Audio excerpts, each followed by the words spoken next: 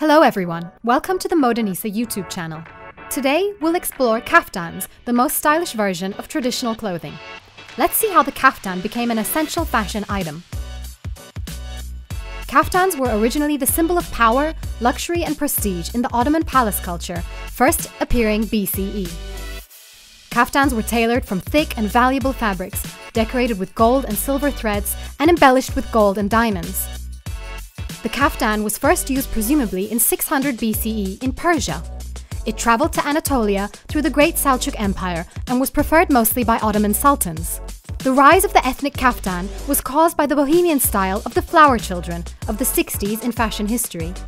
In the same era, American Vogue used the kaftan for the photo shoot of Marisa Berenson. The adoption of the kaftan by fashion pioneers such as Yves Saint Laurent, Elizabeth Taylor, and Talitha Getty made it an instant fashion classic. It's a fact that kaftans highly influenced our era in the last couple of years. Besides being the go-to choice for brides for their henna nights, kaftans are also used as long coats and abayas for simple and practical style inclusion. Let's have a look at the Modanisa products that you can use for this style. The first kaftan is for bohemian chic ladies. It's beige and embroidered details. This is a great example for daily use of kaftans.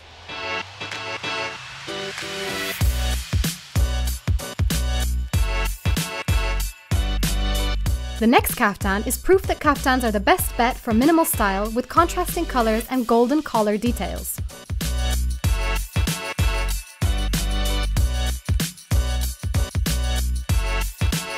Next, we have a long coat kaftan with spectacular brocade fabric and an authentic style.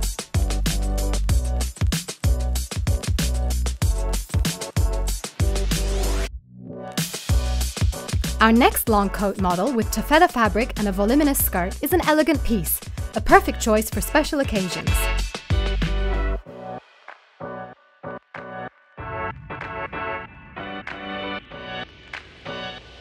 Our last kaftan represents the season's trends with its sage green colour, a must-see outfit consisting of three parts, a kaftan, an inner dress and a scarf.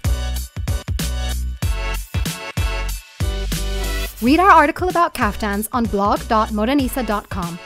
Which is your favorite kaftan look? Let us know in the comments below. See you at the next fashion catch up.